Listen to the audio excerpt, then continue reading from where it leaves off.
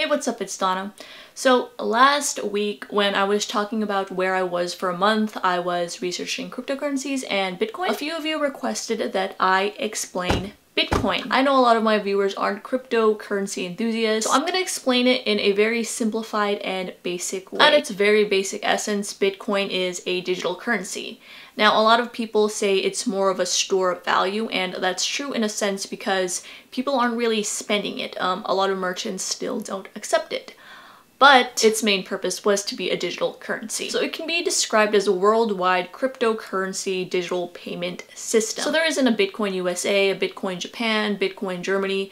Um, globally, people just use Bitcoin. And it's also decentralized meaning that there aren't any banks involved. Um, it's very peer-to-peer. -peer. So I can send whoever I want Bitcoin and there is no middleman. This was created by Satoshi Nakamoto in 2008. The Satoshi Nakamoto is anonymous. Nobody knows if he or she is a man or a woman. Satoshi Nakamoto can also be a collective group of people. So I think the best way to explain Bitcoin is to first explain money. I'm from the US, so I use the US dollar. The dollar, also known as fiat currency, it has value because it's government backed. And as a society, we agree that it has value. So we agree that 50 of these dollar bills can be used to buy this. Or five of these dollar bills can be used to buy this. Yes, these are my notes. What if all of a sudden I earn a $100,000 of these dollar bills? Now there are problems that arise with that.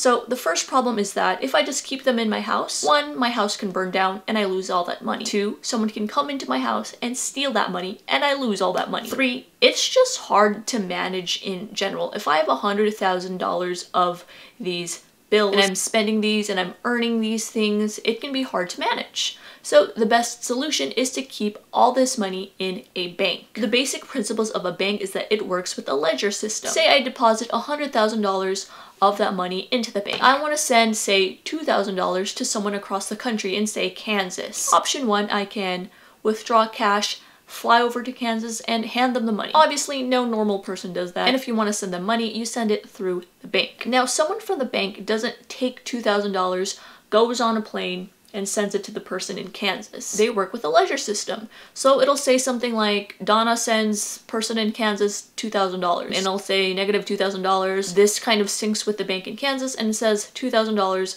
is with this person from Donna. Bitcoin works with this similar principle, but Bitcoin works with the blockchain. And this is a digital ledger system that Bitcoin uses.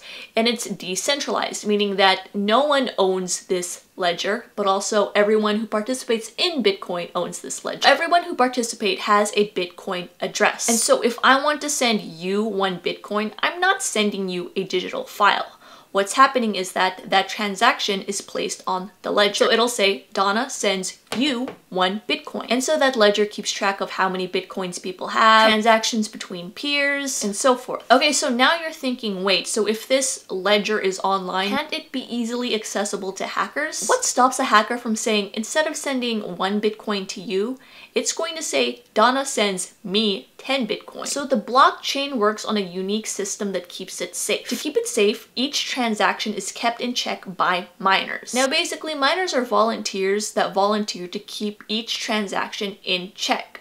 So there can be a miner in Australia, a miner in Japan, and a miner in Germany. So when I'm sending you one Bitcoin, each miner oversees this transaction. The miner in Japan can say, okay, yes, I see Donna is sending you one Bitcoin. The miner in Germany can say, yep, this is what I see. And the miner in Australia will say, yep, this is what I see. So say a hacker becomes a miner and the hacker says, no, Donna is sending me 10 Bitcoin. And since previous miners have already confirmed that I'm sending you one Bitcoin, that transaction is officially updated on the ledger. So in order for the hacker to succeed, he must hack the miner in Japan, in Australia, and in Germany. And so far, the Bitcoin network has not been hacked. It's obviously a much more complex system, so if you want to learn about things like proof of stake versus proof of work, hash function, algorithm altogether, I will leave videos down in the description below describing those things more into detail. But since I know that a lot of you are cryptocurrency beginners and Bitcoin beginners, I didn't want to overcomplicate things and have things just go over your head and for you to just quit because you think it's too complicated because Bitcoin is supposed to be used by everyone. I hope you liked the video. I will see you guys next time. Stay psyched.